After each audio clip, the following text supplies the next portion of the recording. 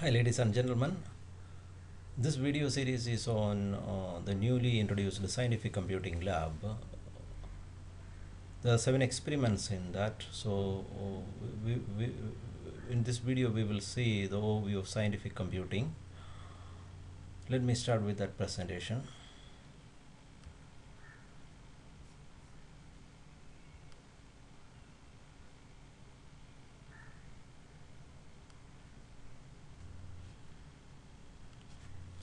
So the speech is uh, organized into your learning outcomes, rationale for the course, uh, uh, scientific computing lab. what are the course outcomes in the syllabus? uh, then uh, the scientific requirements of scientific computing. What is scientific computing and the requirement for scientific computing, and the reason for choosing Python at the thing. In the syllabus, many languages are offered like Python or uh, Scilab, etc. There we use uh, Python, and we, we will uh, tell you why we prefer Python then uh, as a summary of your learning outcomes. What you will learn in this course uh, you will learn the rationale for scientific computing lab why this lab is introduced what is the need of uh, such a lab what do you gain out of this lab and you will learn the course outcomes. Then you will learn why we prefer python to other languages uh, then you will learn the requirements in scientific computing when we uh, do this four-year engineering course you learn a lot of engineering mathematics especially in four or five semesters. So in the first four or five semesters you learn a lot of engineering mathematics. And much of this mathematics is being used in the industry but not in the form that we learn in uh, as problems and all but as actually implementations. But there is a wide gulf between the maths we learn and the actual engineering application. So this course is introduced to bridge that gulf between engineering mathematics and the actual applications then the student uh, often in uh, computing you often in uh, many scientific work uh, you come across large arrays and matrices. So uh, even though you study these arrays and matrices in engineering math classes uh, many students do not know how to use them in real practice. So the course will make the student apply arrays and matrices. Then this course actually lays the foundation this lab session actually lays the foundation for uh, future labs such as uh, signal processing lab, computational electromagnetics lab, etc.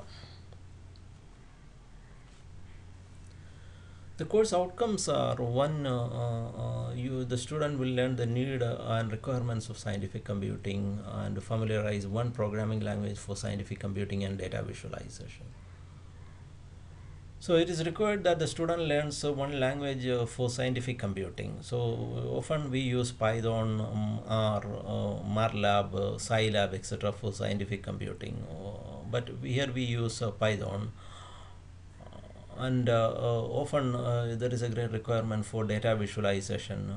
we, we, we encounter a large amount of data in the engineering life and we, we, we have to visualize that, analyze that so the second uh, outcome is uh, you uh, can approximate array or matrix with a matrix decomposition. So often you have to you, you come across large arrays and sometimes you have to do some analysis and uh, represent it with a smaller array without losing much of the information. So uh, such de matrix decomposition are uh, you, you have to familiarize such matrix decompositions then the student will be able to implement numerical integration and differentiation. Often uh, this uh, kind of calculus uh, is very useful in industry where uh, you will have to implement this integration and differentiation. Often some functions cannot be integrated so we, we have to resort to numerical methods and uh, the student will be able to implement such things then the student will be able to solve ordinary differential equations for engineering application. This is another uh, need uh, rather than the analytical solution, how to have numerical solutions for ordinary differential equations.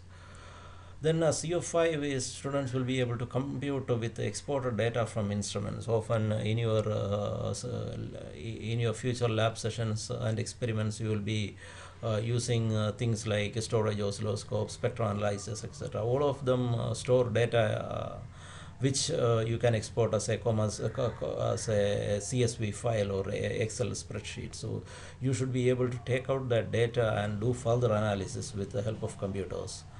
so you see a waveform on the uh, say storage oscilloscope. Suppose you may be interested in knowing the uh, spectrum of that. So you should be able to export it as a CSV file and store it in a pen drive and take it out and read it with uh, Python and uh, do the further analysis. Uh, maybe you want to compute the FFT of that, you want the spectrum of that, so you can do those computations. You will be able to do that then you will be able to realize how periodic functions are constituted by sinusoids. Often uh, you come across Fourier series and transforms in some form or another in any engineering work, so you should be able to implement uh, those series and uh, transforms. So that is CO6. CO7 is so you, you will be able to student will be able to simulate random process and understand their statistics uh, because in uh, in all engineering applications uh, we encounter random process be it communication or anything. You you you come across some random variables and processes so you should be able to simulate them and understand them. So these are the seven course outcomes now, when I say about scientific computing, it is a computing for the purpose of scientific or engineering research. It involves data analysis, data presentation, etc.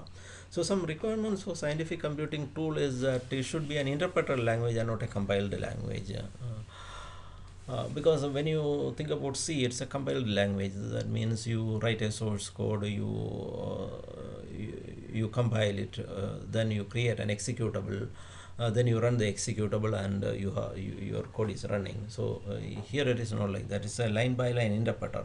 It is wise to use a line by line interpreter in the case of uh, scientific computing because uh, each line responds to your uh, inputs. It is a lot simpler than compiled languages